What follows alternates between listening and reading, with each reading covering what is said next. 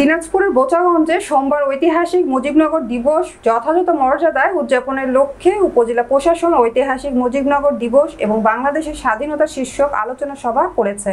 সকাল এগারোটায় উপজেলা মিলনায়তনে উপজেলা নির্বাহী অফিসার ছন্দা পালের সভাপতিত্বে সভায় উপজেলা আওয়ামী লীগের সাধারণ সম্পাদক মোহাম্মদ আফসার আলী বলেছেন, উনিশশো একাত্তর সালের পঁচিশে মার্চ বাংলাদেশের স্বাধীনতা ঘোষণা দেওয়ার আগেই বঙ্গবন্ধু শেখ মুজিবুর রহমান তার ঘনিষ্ঠ সহচর জাতীয় চার নেতাকে মুক্তিযুদ্ধ পরিচালনা সহ সব ধরনের দিক নির্দেশনা আগেই দিয়েছিলেন। বঙ্গবন্ধু বুঝতে পেরেছিলেন, আমি যখনই বাংলাদেশের স্বাধীনতার ঘোষণা দিব, তখনই পাকিস্তানিরা আমাকে বন্দি করবে।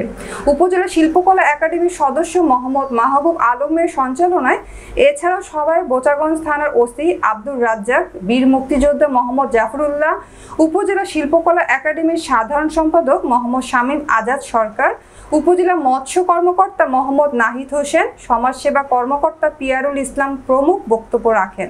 সভা শেষে সমাজ কল্যাণ মন্ত্রণালয় হতে প্রাপ্ত উপজেলা সমাজসেবা অধিদপ্তর কর্তৃক বিশ লাখ চার হাজার টাকার প্রথম কিস্তির চেক আটটি বেসরকারি এতিমখানার সভাপতি সম্পাদকের হাতে তুলে দেন অনুষ্ঠানের অতিথিবৃন্দ।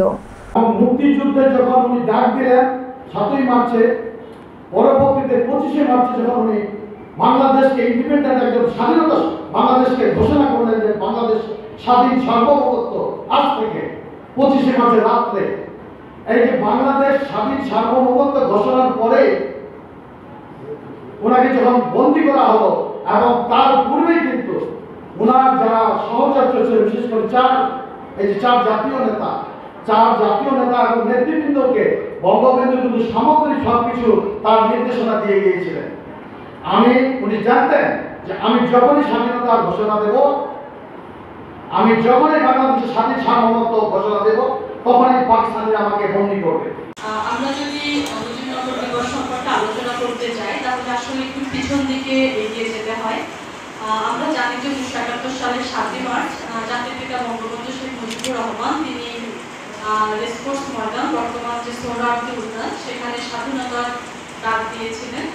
এরপর উনিশশো একাত্তর সালে পঁচিশে মার্চ যে ভয়াল কালো সে বাহিনী বাঙালি নিধনযজ্ঞ শুরু করে এবং এর পরিপ্রেক্ষিতে ছাব্বিশে মার্চে প্রথম জাতির পিতা স্বাধীনতার আনুষ্ঠানিক ঘোষণা প্রদান মুজিবনগর সরকারের সময় পনেরোটি মন্ত্রণালয় এবং বিভাগ এবং এগারোটি সেক্টরে বিভক্ত হয়ে বাংলাদেশের স্বাধীনতার যে যুদ্ধ চিত্র ছিল, সেটা বাস্তবায়ন করা হয়েছিল।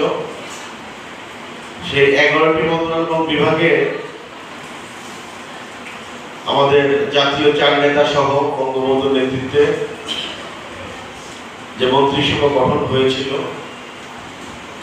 সেখানেও কিন্তু বিশ্বাসঘাতক ছিলেন। তিনি বলেছিলেন আমি যদি হুকুম দেবার নাও পারি আপনাদের যা আছে তাই নিয়ে প্রস্তুত থাকেন শত্রুর মোকাবেলা করবেন। বিশ্বের কাছে বাংলাদেশের স্বাধীনতা স্বাধীনতা যে গুরুত্ব এবং ওই সময় বাংলাদেশের যে কি বলে বাস্তব চিত্র সেটা তুলে ধরতে সক্ষম হয়। যে মার্চে যদি বঙ্গবন্ধু স্বাধীনতার ঘোষণাটা না দিতেন।